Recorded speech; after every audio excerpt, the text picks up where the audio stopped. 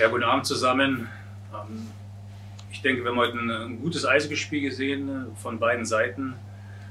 Äh, wir haben sehr, sehr gut begonnen. Wir waren, äh, wir waren schnell, wir waren aggressiv im Vorcheck, waren immer überall von, von den Düsseldorfern. Haben dann auch das, das erste Tor gemacht, haben dann so ein bisschen Fuß vom Gas genommen und haben dadurch Düsseldorf dann ein bisschen ins Spiel gelassen. Sind dann aber relativ gut wieder zurückgekommen, sind, äh, sind kompakt geblieben, haben dann äh, bei den, gerade bei den Special Teams wirklich einen ausgezeichneten Job heute gemacht. Unterzahl war sehr, sehr gut und äh, dann haben wir im richtigen Moment auch noch das Powerplay-Tor geschossen. Und äh, ich denke, dass wir wirklich eine, eine sehr, sehr gute, solide Leistung gebracht haben. Dankeschön. Stevie, your statement, please. Sure. Um, yeah, I thought it was a good game. I thought five on five at the start, they came out hard, and we kind of were a little nervous, but we got our legs under us and we made a 1 1 after the first. And then, um, you know, they got the lead and we had those two power plays in the second. They did a good job on the kill. And I think it's, uh, it's a small margin when you win and lose sometimes. Uh, tonight, the special teams were the difference.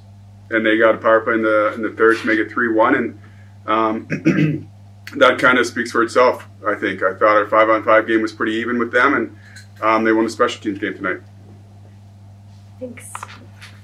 Gibt's Fragen aus der Runde? Herr Schwickerath. Uh, Steven, I think the team had 30 shots or whatever, um, but it had not many really shots from the slot. What what was the difference, or what was what was so difficult coming? Um, well, the, I, I, thought they played well defensively, denying the middle. But I mean, I mean, we I thought we had some quality chances. We had some breakaways, some in tight shots. Um, yeah, I mean, it's they're not an easy team to get chances against, and I thought we got some really quality ones, and you have to convert on those because you know they're hard to get. And then again on the PP, I think we got to be um, hungrier in that area too. Your team has again only three lines. Uh, how much are you looking forward to the break? Yeah, I think it's it's been tough with our health issues. Obviously, running three lines this whole game, you, you know, it wears on the guys. But I thought they battled hard, and you know, it's you know, we got one more game on Sunday before the break, so the guys be able to get some rest. But you know, and hopefully we have some guys back after the break. You know, top team in the league, the champions, and coming off you know nine wins in a row coming to this game.